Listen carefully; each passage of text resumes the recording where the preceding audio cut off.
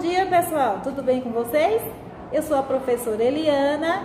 Vou trazer mais uma aulinha de língua portuguesa para vocês, dando continuidade a texto que circula no campo da vida cotidiana. Vamos estar tá aí falando sobre convites e bilhetes. Já pegue aí o seu aprender sempre, chame o seu amiguinho que tem costume de estudar com você. Você que ainda não é inscrito, se inscreva no canal porque você já viu que a professora todos os dias tem conteúdo novo para você. Então vem estudar conosco. Vem comigo! A aula de hoje está no Aprender Sempre, volume 3, segundo ano do ensino fundamental, língua portuguesa e matemática.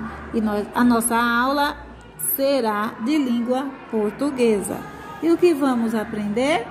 Vamos reconhecer a função desse texto, certo? Ler, interpretar, vamos identificar o objetivo do convite através dos modelos diversos produzidos no, no, no, no canal.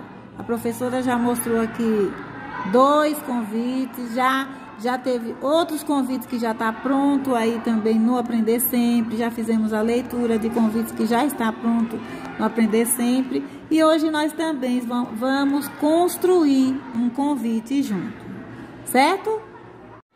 Peço que você olhe para a tela com muita atenção e veja que tipo de texto você vê. Que tipo de texto aparece aí para você?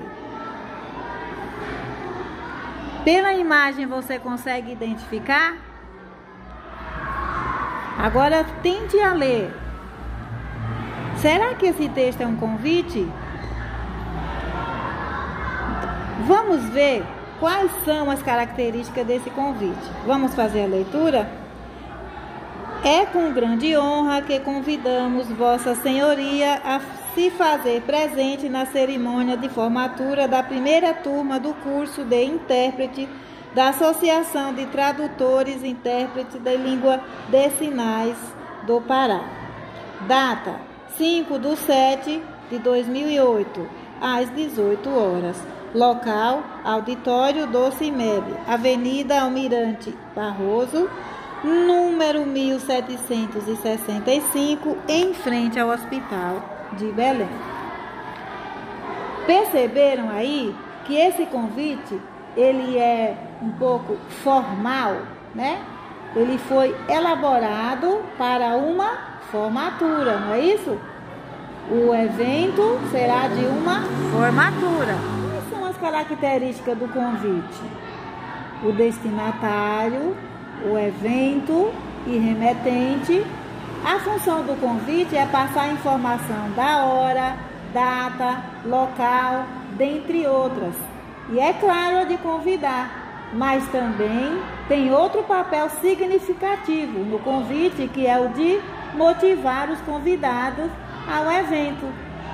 Vejam aí no convite e veja que eles estão convidando, estão incentivando a não faltar, certo?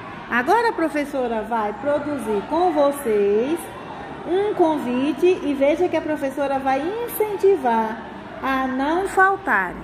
A aula está no livro Aprender Sempre, na página 44.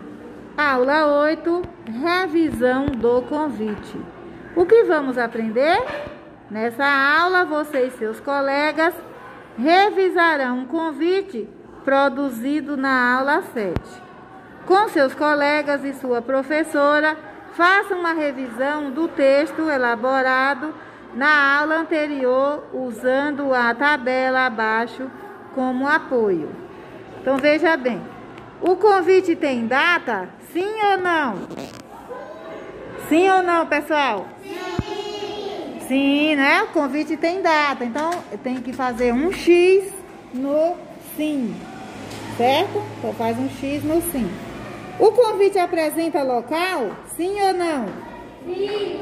Sim, tem que se não tiver o local, como é que você vai, né? Não tem como você ir. O convite, deixa eu ver, conseguimos saber a hora? Sim. Sim. Qual, é o, qual evento acontecerá? Então, as informações estão claras e usei a pontuação de maneira adequada. Então, vamos ver o convite, de qual convite que ele está falando. Querido aluno, convido você para assistir uma exposição de convites. Quinta-feira, 10 do 10 de 2021.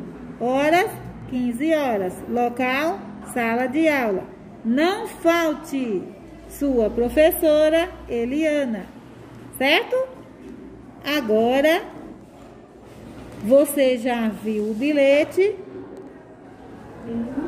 Vamos fazer o análise, né? Tem uma análise para vocês fazerem aqui na página anterior. Agora que você já viu a leitura do bilhete, qual é o evento? A professora convidou para o quê? Uma uma festa de, de exposição de convite, né? Então, o evento é uma exposição de, de convite. É, então, o evento que vai acontecer, deixou alguma dúvida ou deu para entender? Deixou dúvida? Qual é o evento que vai acontecer? Ó, convido a você para assistir uma exposição de convite. Então, tem dúvida? Não. Tem dúvida, já está dizendo né, que vai ter uma exposição de convite. Então, é, qual, qual evento acontecerá? Não deixou dúvida. Então, coloca também no, no sim. As informações estão claras? Sim ou não? Sim. Usei a pontuação de maneira adequada? Sim. As palavras foram escritas corretamente? Sim. Prontinho. Chegamos ao final da nossa aula. Muito obrigado a você que ficou até o final. Se você não se inscreveu ainda, se inscreva no canal e continue aí ligadinho com a Pro. Tchau!